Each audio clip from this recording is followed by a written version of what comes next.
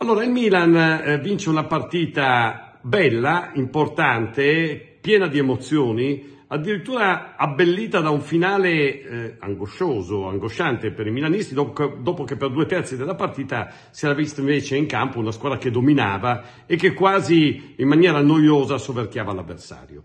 Tutto questo eh, appunto per due terzi della partita e poi improvvisamente eh, è successo qualcosa che ha ribaltato tutto, riempiendo di emozioni il finale di partita, rendendola palpitante, se vogliamo anche divertente eh, per i milanisti che a un certo punto hanno cominciato angosciosamente a guardare l'orologio.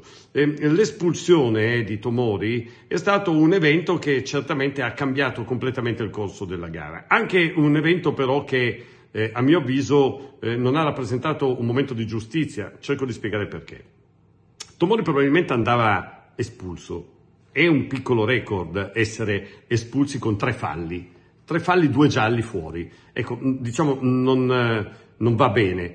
Vero è però che Tomori era troppo nervoso e qui bisogna poi aprire una parentesi sulla gestione di Tomori in campo.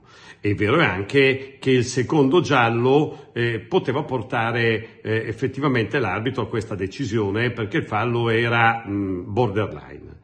Eh, quello che però non torna è che Tomori eh, con tre falli sia stato espulso, mentre eh, l'altro duello, perché quello più pericoloso diciamo eh, per il Milan era appunto Belotti-Tomori, quello più pericoloso ovviamente per la Roma era Selic Leao. Ecco, eh, Selic ha marcato eh, Leao eh, in, come un lottatore di lotta greco-romana, non come un difensore, cosa che può succedere abbastanza normale quando c'è un giocatore tecnicamente e fisicamente preponderante sul difensore. Però sta di fatto che eh, gli arbitri dovrebbero tutelare intanto l'integrità fisica dei eh, calciatori. E poi dovrebbero anche tutelare l'espressione del bel gioco. Consentire a Selic di marcare Leao tirandolo per la maglia, attaccandosi ai pantaloncini ogni volta che partiva senza mai ammonirlo, affossandolo, ecco, ha eh, privato la partita di alcuni spunti che sarebbero stati straordinari. Ora, Selic faceva tanto bene a ricorrere a eh, questo tipo di marcatura fuori dalle regole e tanto male però ha fatto Rapuano a essere così sussiegoso nei confronti di, Selic, di, di, di Tomori, buttandolo fuori, e invece così tollerante eh, verso invece eh, l'atteggiamento di Selic. Questo anche perché, una volta per tutte va detto, eh, questi calciatori devono essere tutelati fisicamente. Voi vi ricorderete quando tanti anni fa Totti, che prendeva tanti falli, eh, subì un fallo che ne pregiudicò quasi la presenza ai mondiali e ci fu giustamente una levata di scudi in cui si disse gli arbitri devono tutelare l'integrità fisica dei giocatori. Ora non è normale che Leao tutte le volte che parte abbia spesso e volentieri, come è successo però per esempio nella partita con la Roma, qualcuno che gli si, attacca, gli si attacca addosso, che gli entra sulle caviglie, che cerca in qualche modo di intimidirlo e di fargli male. Ecco, questo Rocchi dovrebbe spiegarlo ai suoi eh, arbitri. Rapuano è stato un arbitro come atteggiamento molto casalingo, naturalmente non è andato bene a molti romanisti che sono perennemente in, in polemica con gli arbitri, però insomma il calcio di rigore sul Milan, in favore del Milan era evidentissimo, è stato dato non da Rapuano che non l'ha visto colpevolmente, ma dal VAR e anche in questo Rapuano ha dimostrato di non essere all'altezza e poi in campo ha consentito eh, che eh, Leao venisse menato, mentre Tomori in tre falli, becca due gialli e lascia la squadra in dieci. Vabbè, ma queste sono considerazioni a latere. Vediamo quello che è importante della partita. Allora, eh, eh, un bel gioco del Milan, un Milan che ha risorse, e questo è molto importante, che si possono alternare, che è tipico di tutte le grandi squadre. Pulisic non era in serata particolarmente ispirata, era molto ispirato Leao. In altre occasioni è successo il contrario. Milan che, questo va detto, dimostra ancora una volta di avere un punto debole, non me ne vogliano eh, i milanisti, eh, nella situazione del centravanti. Giroud, che ha fatto eh, 4 gol, di cui 3 su calcio di rigore, eh, Giroud non è il punto di forza di quell'attacco. È un giocatore anziano, esperto, capace ogni tanto di essere al momento giusto, nel posto giusto, ma per ambire a grandi traguardi bisognerebbe avere qualcosa in più di Giroud.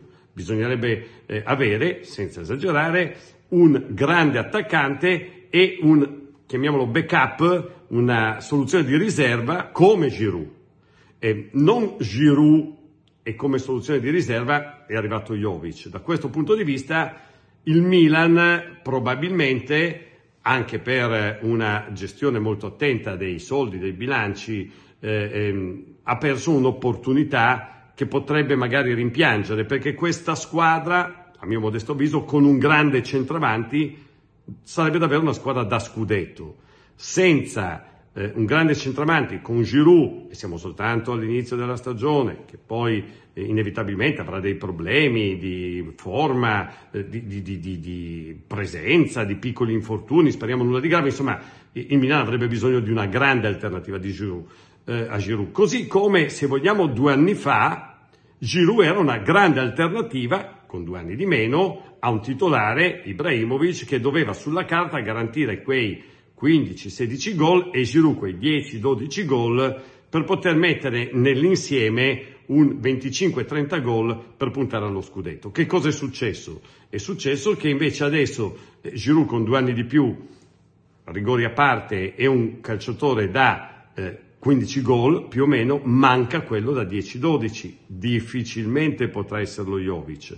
La vicenda dell'attaccante che non è arrivato ha deluso legittimamente molti tifosi del Milan, ma bisogna anche eh, capire quali sono le vere ambizioni. Il Milan parte per arrivare tra le prime quattro, non parte per vincere. Quest'anno oggettivamente partono per vincere il Napoli, che ha cambiato pochissimo eh, ehm, e che ha tenuto i suoi giocatori più importanti e, e, e, probabilmente anche l'Inter che ha fatto una serie di investimenti più costosi del Milan pur in un bilancio piuttosto eh, eh, disastrato quale quello nerazzurro. Ma il Milan può contare su giocatori che stanno dando molto rispetto a quello che ci si aspettava. Diciamo la verità, Pulisic, Loftus-Cheek, probabilmente il migliore in campo, eh, per certi versi eh, eh, Reinders, erano considerati giocatori dalle grandi potenzialità inespresse in qualche modo, no? basta pensare a Loftus-Cheek e a Pulisic nel Chelsea. E molti legittimamente si chiedevano, ma saranno in grado di cambiare il Milan visto che non hanno cambiato il Chelsea? Beh, alla terza di campionato possiamo dire che certamente Loftus-Cheek e Pulisic sono due giocatori in grado di fare la differenza nel Milan. Reinders è un giocatore in grado di fare la differenza nel Milan e un po' in ritardo invece Ciucueze, eh, che non ha ancora avuto uno spunto degno di quanto ci si aspetta da lui.